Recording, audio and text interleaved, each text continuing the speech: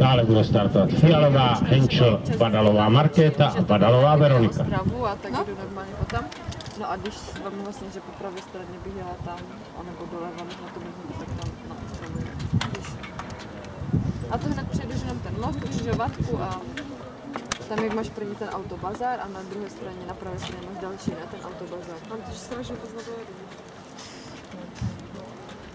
Se to ještě nikdy nestalo, jako že bych nedojela. Cítím jenom tady to líčku, že? Někdy bych jela furt do kopce, ne? Když, to, když jdeš do kopce, tak máš to takový všechny.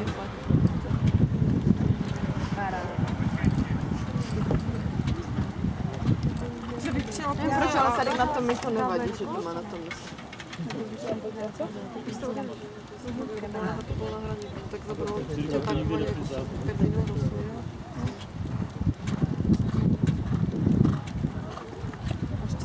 A to ještě, že tak, protože jsem úplně nervovala, ne? Asi my jsme jeli za nějakým traktorem, 50, tam jde jedno malinký píčí 110. Jak na mě přijedu vždycky za 10 minut na důhodky, ještě jsem jako z předstihu, tak jsem měla snad 15 minut. Jsem nevěděl, že ráno je taky no. to se Nikol